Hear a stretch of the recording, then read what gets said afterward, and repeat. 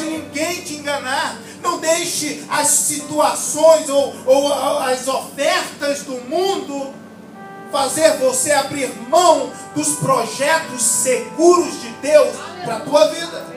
Dar essa bênção.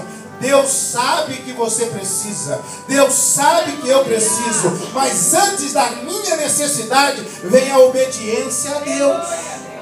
Vem a fidelidade do homem para com Deus mais importante do que o meu milagre e o teu milagre, aquilo que você almeja, é a presença de Deus, é estar dentro do centro da vontade de Deus. E às vezes fica difícil de entendermos.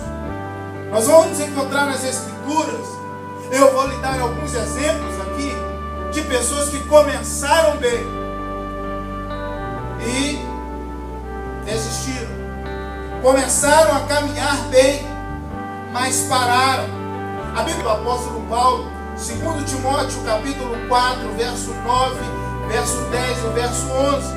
A Bíblia nos fala que Demas, ele andava com o apóstolo Paulo. Ele caminhava com ele, ele viu milagres acontecer.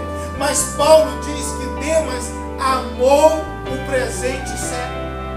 Demas foi encantado com as coisas do mundo. Demas abandonou o apóstolo Paulo e abandonou a fé. Ele desistiu. Ele parou na caminhada cristã. E eu aprendo aqui com Demas e com outros é, personagens aqui, exemplos nas Escrituras, que eu preciso guardar o meu coração. Que eu preciso andar determinado para aquele que me salvou.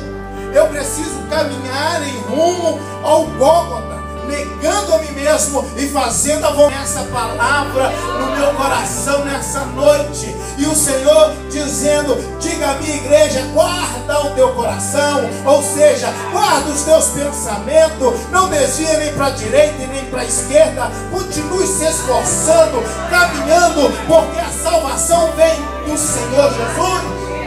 A situação não é fácil, as aflições nós teremos, as situações adversas vão acontecer, mas aquele que conhece o seu Salvador, ele não recua, ele não olha para trás, ele não retrocede, ele sabe que só há salvação e refrigério no Senhor.